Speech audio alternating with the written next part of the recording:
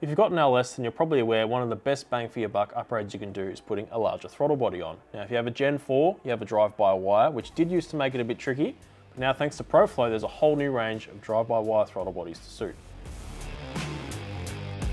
The new throttle bodies are made from billet aluminium and are all 102 mils in size, which as you can see, it's plenty big. You can choose from either the naked finish here or the nice black anodized for the stealth look, which will match your ProFlow Supermax manifold nicely, should I add.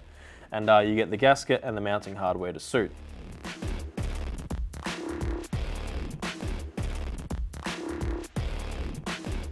Another unique part of ProFlow's design is that these throttle bodies incorporate a stepper motor. That means they can suit both boosted or aspirated applications, so regardless of what combo you're doing, because an LS can be pretty much anything these days, they should suit.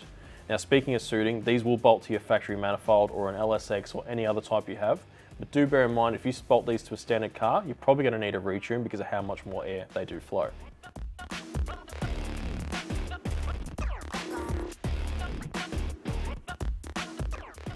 So built to suit Gen 4, you can bolt them to either your L76, 77, L98, LS2, LS3, and even LS7, or an LS1 if you want to do an electric conversion.